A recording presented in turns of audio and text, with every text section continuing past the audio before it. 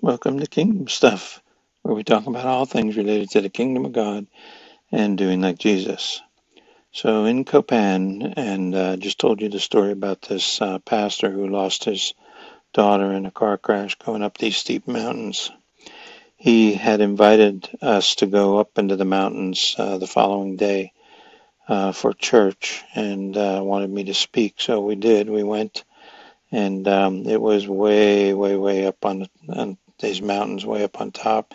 You could overlook the city of Copan from up there. I mean, it was like 40 minute drive up these steep, steep mountains. But at any rate, we got there. Nice little uh, Mayan village, uh, truly where the Mayans uh, live. And so it was uh, an honor to be there and to be able to proclaim the good news of the kingdom for them and to minister to them. And afterwards, there was uh, several people that had come forward for prayer. And one of them was a woman who came for her and her family. She was concerned because the neighbors practiced practiced witchcraft, and she was afraid that uh, something was going to happen, you know, bad to her and her family. So of course, you know, we know that's the fear.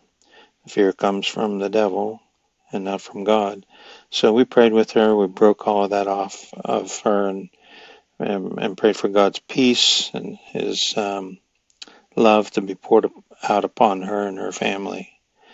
And uh, left there with uh, see, seeing the joy in their face as they received from the Lord what He had for them.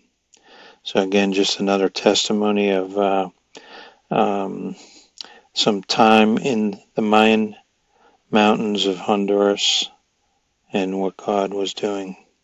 Amen. So if you enjoyed this briefing, subscribe here.